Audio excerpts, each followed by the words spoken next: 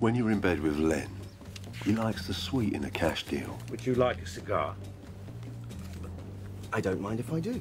He wants you sitting in the front row with a new car sitting in your driveway. Len's skill lies in his ability to know where your back needs scratching. That's a nice lighter. Eight grand they wanted for it, the greedy toads. And I paid it. No way. Tell me, Lenny. It's all about the details. Is our little deal in there too? Look at Lenny. Fucking playing with himself, he's so proud. He only paid £100 for that stolen lighter.